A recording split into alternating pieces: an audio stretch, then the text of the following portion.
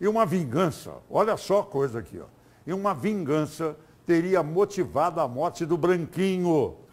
Assassinado, nós mostramos ontem aqui, em plena luz do dia de manhã, na estrada do Moinho, entre o Pedregal e o Jardim Leblon. Aquela calçada já é do Jardim Leblon, aqui na capital. Inclusive, esse crime nós mostramos aqui, eu acabei de falar, ontem pela manhã. Mas agora o Oliveira Júnior conta pra gente os detalhes dessa vingança. A que se faz, a que se paga. Na tela do cadeia. O autor do disparo que tirou a vida do Branquinho, Wesley Costa, conhecido como Branquinho, e não o nome Alexandre, que havia sido divulgado inicialmente pelas autoridades policiais.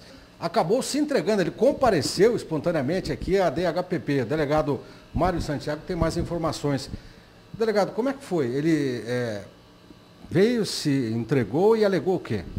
É, é, a partir do momento que nós fomos até o local dos fatos, iniciamos diligências, né? diligências externas, depois algumas checagens via sistemas, e já tínhamos o, o rastro do criminoso, sabíamos, já tínhamos uma noção de quem seria, e no início da tarde, duas advogadas que representam o suspeito, elas compareceram na unidade policial e dizendo que ele queria se apresentar e apresentar a versão sobre os fatos.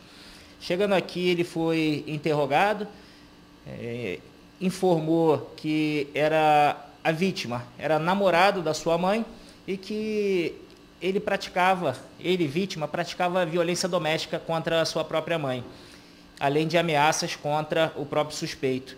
E na data de ontem, o, a vítima puxou uma faca para tentar agredir a mãe do suspeito e o próprio suspeito. Nesse momento, o suspeito sacou uma arma de fogo e efetuou quatro disparos. Essa é a versão dele, né? Qual a providência que a polícia vai tomar diante dessa alegação? O senhor já pediu pela prisão ou ele está em liberdade? Qual é o procedimento daqui em diante? Devido ao fato dele ter se apresentado espontaneamente, eh, não ter passagens policiais por crimes violentos, residência fixa, eh, nós não optamos por não representar pela prisão desse suspeito.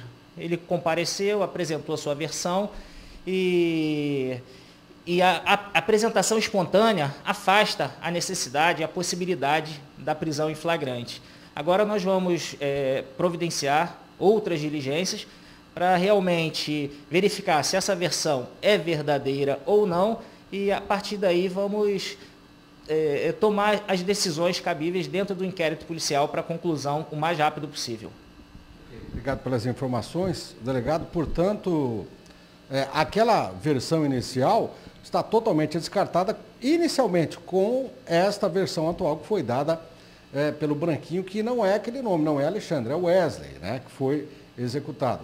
E com esta versão que foi apresentada, então, é, cai por terra é, a possibilidade do crime estar ligado ao tráfico de drogas, e sim a uma vingança. E agora o acusado responde em liberdade temporariamente até que todas as pessoas envolvidas sejam ouvidas com imagens de Marcos Xavier Oliveira Júnior para o Cadeia Neles.